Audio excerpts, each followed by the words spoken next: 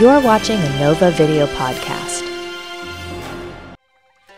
I'm Gary Glassman from Providence Pictures, producer, writer, and director of Nova's The Bible's Buried Secrets. I'm Tristan Barako, associate producer and senior researcher.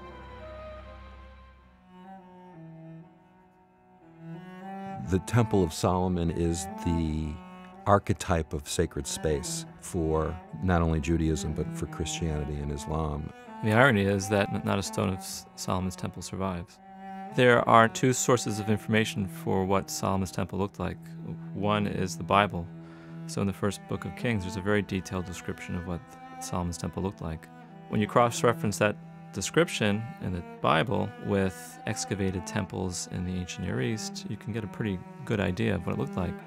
So we went to Syria to a site called Ain Dara, where the, the, the closest parallel exists. I have a background in biblical archaeology. That's what my degree is in.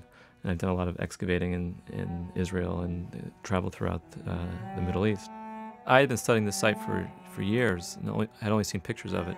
I know very few people who have been there. That was a real highlight for me to visit Ain Dara. These are what are called in the Bible cherubim, these, these uh, winged creatures, in other words, sphinxes. And they guard the, the entrance to the temple. They were in Solomon's temple too. And then unique to Ain Dara are these enormous footprints that are on the threshold, and then, then they progress inward. If you did a, a, a direct proportion of the foot size to the body size, this would be about a 30 foot tall God. And when he or she got inside, she sat, he or she sat on the throne in the Holy of Holies. And here you see the Ain Dara temple side by side with the plan for Solomon's temple. And that plan is based on the biblical description. This 3D recreation is set on the Temple Mount, what's today called the Temple Mount. And this is where the first and second temples were constructed, and it's where the Dome of the Rock stands today. And this was almost the most ancient part of Jerusalem. So here we're going in through the front porch or portico, into the what's called the Heichal or the sanctuary, and into the Debir, which is the, the innermost sanctuary or the Holy of Holies.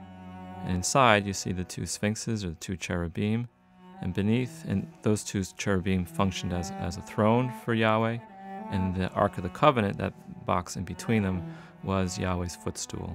And inside, as Right. tradition holds it, is the uh, tablets of the law or the Ten Commandments.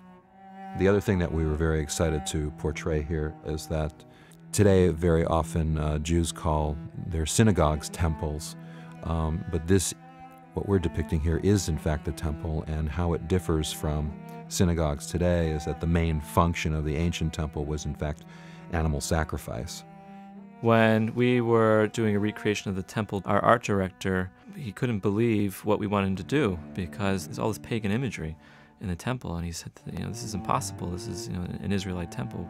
These look like Egyptian gods. But many people forget that ancient Israelite religion, as practiced, not in theory, was quite pagan in many ways.